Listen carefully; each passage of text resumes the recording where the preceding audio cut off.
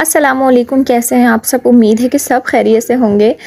तो मैं बना रही थी यहाँ पर झींगा बिरयानी और डेढ़ किलो की झींगा बिरयानी बना रही थी तो मैंने सोचा कि आप लोगों के साथ इसकी रेसिपी शेयर करती हूँ। वैसे पहले मैं झींगा बिरयानी की रेसिपी शेयर कर चुकी हूँ, वो मैं नीचे आपको डिस्क्रिप्शन में दे दूँगी, जिसको देखना हो वहाँ जाके देख लीजिएगा।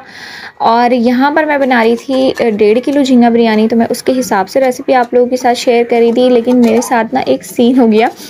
वो मैं आपको आगे ही चल के बताती रहूँगी। सबसे पहले मैं यहाँ पर आप लोगों को रेसिपी बताती चलती हूँ, लेकिन उससे पहले मेरे चैनल को सब्सक्राइब कीजिएगा वीडियो को लाइक कीजिएगा और कमेंट सेक्शन में मुझे बताइएगा कि आप लोगों को ये वीडियो कैसी लगी। तो चलते हैं हम लोग रेसिपी की तरफ़। तो मैंने यहाँ पर सवा दो कप के करीब ऑयल ले लिया था। मेज़रमेंट वाला जो कप होता है ना, वो वाला कप लिया था मैंने। अगर आपके पास वो नहीं है तो आप घर वाले कप से भी आप अंदाज़ा लगा सकते हैं, ठीक है? लेकिन नॉर्मल साइज़ के कप ऐसा ना हो कि बहुत ज़्यादा एक्स्ट्रा बड़े कप हों। तो अगर बड़े कप हो तो आप दो कप ले लें। उसके बाद मैंने यहाँ पे छः अदद जो है वो मीडियम साइज़ की प्याज ले ली थी और उसको गरम तेल में डाल दिया था और उसको ब्राउन कर लिया था। इतना ही हमें ब्राउन करना है, इससे ज़्यादा ब्राउन नहीं करना ना इससे कम ब्राउन करना है। और उसके बाद मैंने यहाँ पर ज़ीरा ऐड कर दिया था।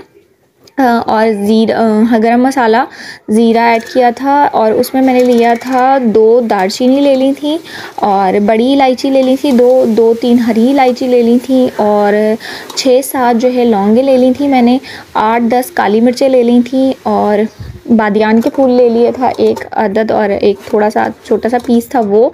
और उसके बाद मैंने उसे तेल में शामिल करके थोड़ी सी देर भूना था और जब वो भून गया था तो फिर मैंने उसमें दो चम्मच यानी कि दो टेबल स्पून जो है वो, अदरक लहसुन का पेस्ट ऐड किया था और 12 से 13 हरी मिर्चों का मैंने पेस्ट बना लिया था, वो ऐड किया था। फिर उसके अंदर मैंने एक किलो ग्रैंड किए हुए टमाटर ऐड कर दिए थे। इसके बाद मैंने थोड़ा सा यहाँ पे घर का मसाला भी ऐड किया था, जिसमें one and half tablespoon paprika powder था टू टेबल स्पून मैंने धनिया पाउडर डाला था और वन टेबल स्पून मैंने ज़ीरा पाउडर डाला था। One and half tablespoon मैंने डाला था पिसी हुई मिर्चों का। ये ऑप्शनल है, अगर आपको ज़्यादा स्पाइसी मिर्चें चाहिए तो आप डालें और नहीं चाहिए तो आप नहीं डालें, क्योंकि मुझे तो चटपटी बनानी थी अजहर को ऑफ़िस लेके जाना था तो मैंने इसमें पिसी हुई मिर्चें भी डाली थी, वरना आप ऑप्शनल है, क्योंकि हम हरी मिर्चों का पेस्ट भी डाल सकते हैं डाल चुके हैं तो इसमें ज़रूरी नहीं है। आप अपने टेस्ट के अकॉर्डिंग मिर्चों को बैलेंस कर लीजिएगा और बिल्कुल हसबी ज़ायका आप नमक डाल दीजिएगा। और फिर उसके बाद मैंने इसमें एक डाला था नेशनल का और एक डाला था बम्बई बिरयानी मसाले का पैकेट। ठीक है? ये दोनों मसाले डालने के बाद मैंने इसे अच्छे से मिक्स कर लिया था और टमाटरों को भुनने तक पकाया था। उसके बाद मैंने इसमें एक पाव दही ऐड किया था पूरा का पूरा एक पाव दही जो मैंने इसमें शामिल कर दिया था। और उसके बाद जो प्याज मैंने ब्राउन करके रखी हुई थी थोड़ी सी आ, समझ लें कि बिल्कुल थोड़ी ए, एक कप से भी कम मैंने इसमें प्याज ऐड कर दी थी। और प्याज ऐड करने के बाद मैंने इसको और भुना था क्योंकि दही हम डाल चुके थे। अच्छी चीज़ें ठीक तरीके से सारी चीज़ें भुनी हुई हों तभी खाने में जायका आता है और खुशबू आती है। और यहाँ पर फिर मैंने झींगे ऐड कर दिए थे। झींगे मैंने छोटे वाले लिए हैं, आप चाहें तो बड़े वाले झींगे भी ले सकते हैं। और ये दो किलो झींगे लिए थे हम लोगों ने। और उसके छिलके उतारने के बाद वो कुछ डेढ़ किलो के करीब बचे थे। तो समझ लें आप डेढ़ किलो बिरयानी में डेढ़ किलो झींगे चावल लिए हैं मैंने और डेढ़ किलो ही झींगे लिए थे। ठीक है? अब यहाँ पर हम झींगे गलने के लिए रख देंगे और इसमें कोई पानी मैंने ऐड नहीं किया है क्योंकि झींगे जो है वो खुद ही पानी छोड़ता है। इस वजह से मैंने कोई पानी ऐड नहीं किया था और उसको ढक के रख दिया था गलने के लिए। और यहाँ पर ये देखें थोड़ा थोड़ा झींगों ने पानी छोड़ दिया है और यहाँ पर आपको थोड़ी थोड़ी देर बाद वो चेक करते रहना है। वैसे झींगों को ज़्यादा टाइम नहीं लगता, जल्दी ही बन जाते हैं।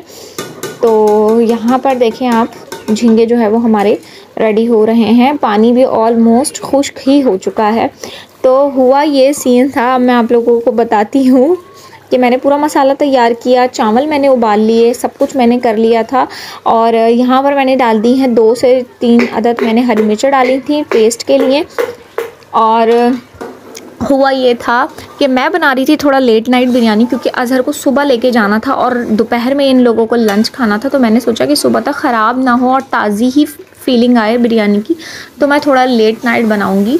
तो ऑलमोस्ट एक बज रहे थे तब मेरा मसाला जो है वो रेडी था, चावल भी मैंने उबाल लिए थे, सारी चीज़ें रेडी थी। उसके बाद हुआ ये कि मैंने तह लगा दी पूरे चावलों में। मसाले की, हर चीज़ की तह लगा दी और जब मैं दम पे रखने लगी तो याद आया कि लाइट, वो गैस चली गई थी।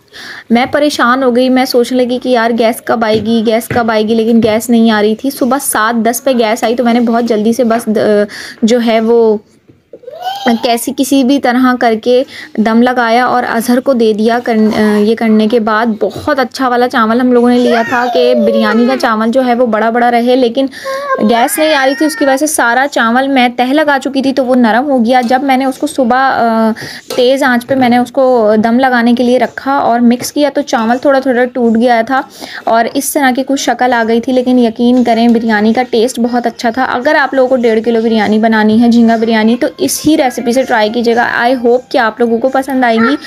और टेस्ट में नो कॉम्प्रोमाइज़ था। और अभी देखें, सुबह के आठ बज रहे हैं। आठ बजने वाले हैं और मैंने कहा जब नाश्ता जो है वो बिरयानी से ही हो जाए। क्योंकि आप लोगों को पता है, जब बिरयानी बनती है तो मुझे नाश्ता भी बिरयानी का ही अच्छा लगता है। तो बस अगर ये सीन नहीं होता तो मेरी बिरयानी कुछ इस तरह की ना होती और भी अच्छी होती। और तह लगाते हुए भी मैं आप लोगों को दिखाती, लेकिन जैसे कि मैंने आप लोगों को बताया कि ये सीन हो गया था, इसके वजह से मैं आप लोगों के लिए पूरी प्रॉपर जो है वो शूट नहीं कर सकी इन चीज़ों की। तो उसके लिए माजत नेक्स्ट टाइम बनाऊँगी तो आप लोगों के साथ ज़रूर शेयर करूँगी। अपना ख्याल रखिएगा। अल्लाह हाफिज़।